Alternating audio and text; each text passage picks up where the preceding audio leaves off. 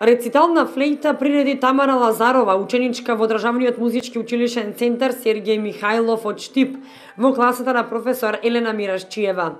Лазарова настапи во пијано придружба на Драгана Карова, професор во Основното музичко училиште Ристо Јоруков.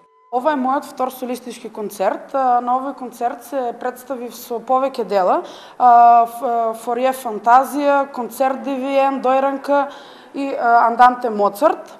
А, во иднина планирам да се запишам на факултет, а и голема благодарност до клавирската придружба, мојот корепетитор Драгана Карова и на сите присутни кои беа оваа вечер. Чест и задоволство е да се биде професор на еден изворедно талентиран ученик со кој работам 8 години во основното музичко училиште овде во Омуристо Јуруков и во средното Дамут Сергеј Михајлов.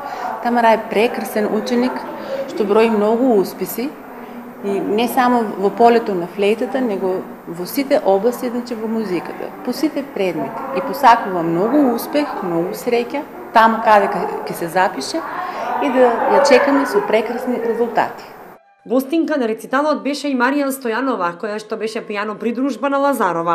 Тамара Лазарова, која основното музичко образование го стекна во Ому Ристо во Кучани, моментно е матурантка во Државниот музички училишен центар Сергеј Михајлов во Штип, во класата на професор магистер Елена Мирашчиева. Вели дека школувањето и понатаму ќе биде насочено на изучување на инструментот флейта. Тамара досега има учествувано на многу државни и меѓународни напревари и има добивано значајни награди и признанија во земјава и странство.